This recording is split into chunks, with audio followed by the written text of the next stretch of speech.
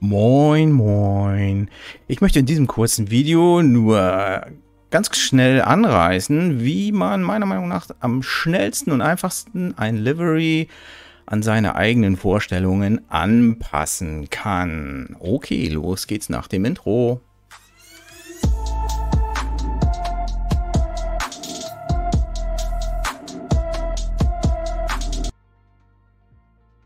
So, was braucht man dafür? Am Prinzip braucht man eigentlich nur Paint.net, das ist ein Freeware-Programm, um das richtige Bildformat ein- und ausgeben zu können.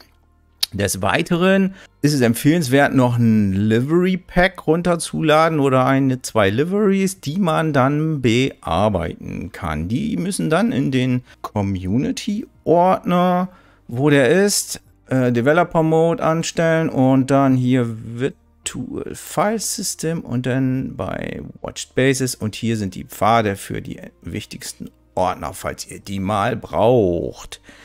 So, dann gehen wir hier wieder zurück. Das machen wir aus.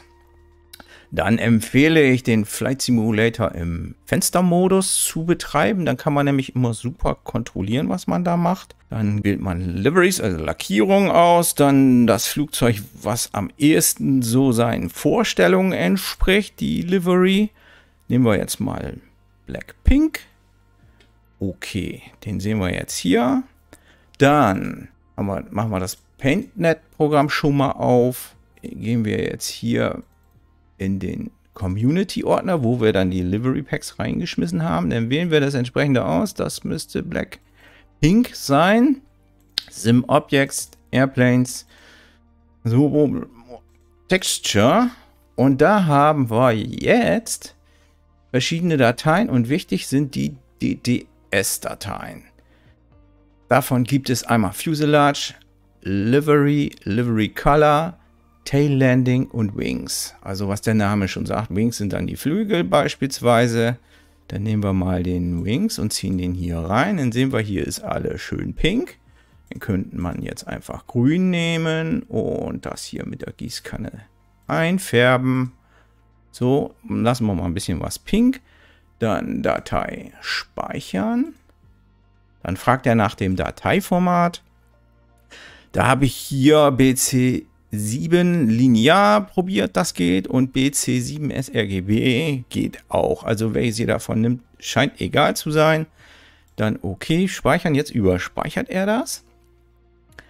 Und wenn ich jetzt ein anderes Flugzeug auswähle, ich nehme mal erst das schwarze.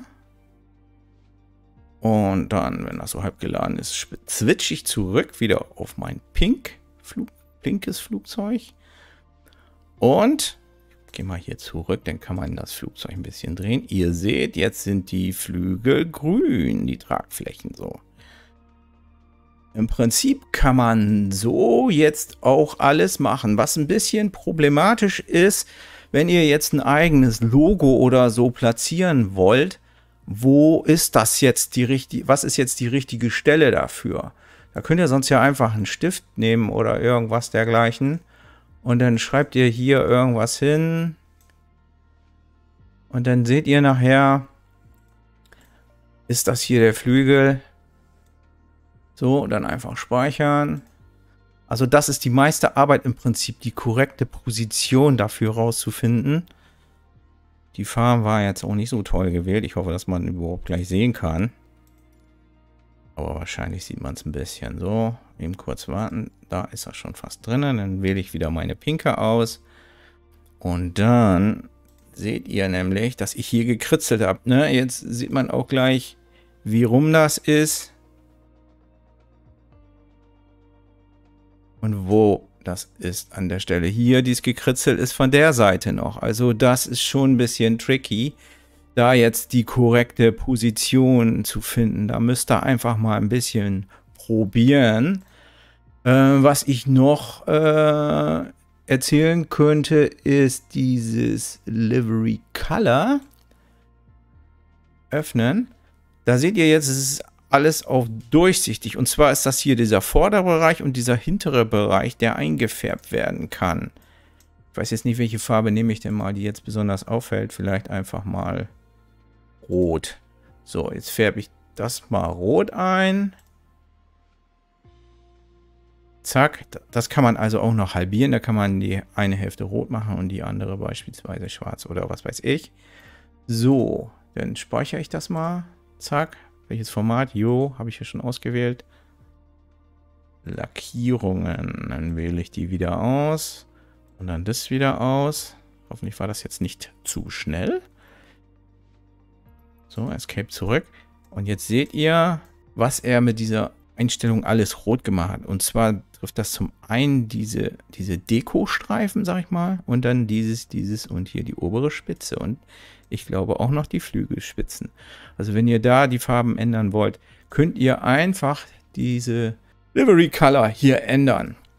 Soweit war es das eigentlich schon, wenn ihr dann die richtige Position und so weiter gefunden habt. Wenn, wenn ihr sagt, oh, das war falsch, dann könnt ihr ja auch einfach rückgängig machen, bis das wieder so ist, wie es war. Speichern. Zack. Das gleiche hier. Rückgängig. Speichern. So, und dann ist es alles wieder wie vorher.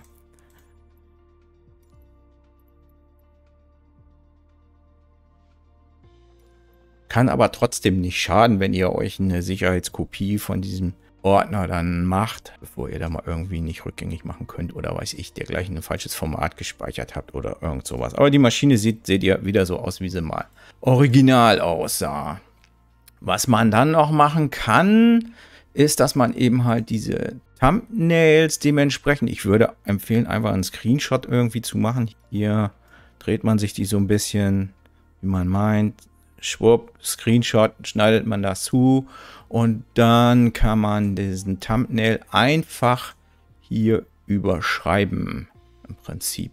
Maße eben schnell schauen, welche Maße hat der Thumbnail. Eigentlich braucht man das, glaube ich, nur für diesen Thumbnail. Man kann aber auch Thumbnails Small gleich machen. Hier stehen die Maße auch 600 mal 218. Dann hat man das auch schon mal ganz schön. Das heißt, man hat dann im Auswahlmenü bei Lackierung oder wenn ich einen Flug starte, auch eben halt das Flugzeug so abgebildet, wie es aussieht. Und dann kann man auch, wie ihr seht, hier den Namen noch ändern. Dafür müsst ihr einfach die Aircraft Config öffnen. Und dann kann man hier, muss man mal gucken, wo dieses äh, Pink da stand. Und dann kann man das ändern. Dann müsst ihr ein bisschen mit Vorsicht machen, dass ihr da nicht irgendwelche Dateien ändert ähm, wo der Pfad hinterlegt ist, dass er nachher die Dateien nicht findet. Aber da kann man sonst einfach mal probieren. Jo, das soweit ganz kurz zu meinem Liveries-Tutorial. Und ich hoffe, ihr kommt damit zurecht. Das Programm ist übrigens echt super. Ist irgendwie, glaube ich, mal für eine Universität irgendwie was programmiert worden oder so. Jo. Dann äh, viel Spaß damit und hoffentlich bis zum nächsten Mal. Bye, bye.